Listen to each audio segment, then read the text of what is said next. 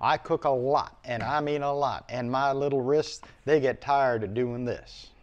If you have ever, and I know you all have one of these somewhere, don't you?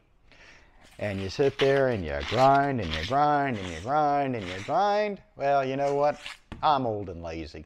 I'm tired of that. So, there is an answer for that today. The Amuse electric battery operated salt and pepper grinder. Let's take a look.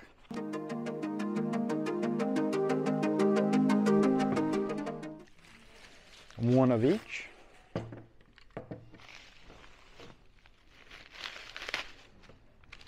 Cleaner and instructions. Well, guess what? We don't read instructions, do we? That's why you're here, Brad. Mm-hmm. Take it apart. Now it takes one, two, three, four, five, six batteries. And they look like double A's. Let's put them in. Up, oh, they're triple A's. Hold this, hold the phone. Let me go get the right size. Three hours later. And I know that has never happened to any of you people out there like that. Got the wrong batteries. Happens to me all the time. This one takes six, uh, count them, six AAA batteries.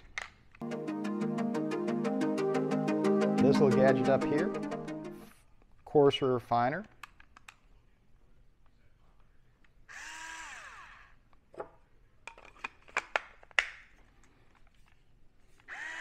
Let's put some pepper in here. What do you say?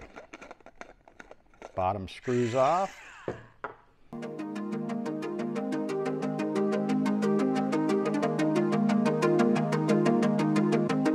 Smells good. If any of you are wondering, we're going to be using this in our cacio de pepe soon. Look at that. Mm, I can smell that pepper coming out. Let's increase the grind. Let's get a little coarser. Look at that. All right, that looks really good. Shall we do the salt one next? Let's be assaulted. Once again, grind. And let's fill her up. Little kosher salt. Now, normally we'd use a little something thicker, but this is what I had today.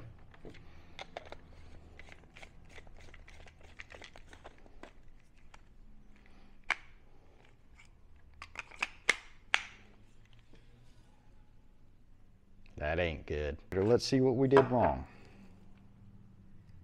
One, two, three, six batteries. They all look right.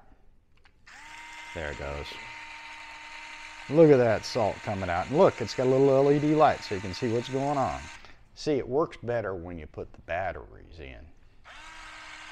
Look at that go. I think these are going to be all right. Only negative I can see with these two little pieces of equipment is they each take six AAA batteries. I don't know how long they're going to last. I'm going to have to ask Mr. Duracell.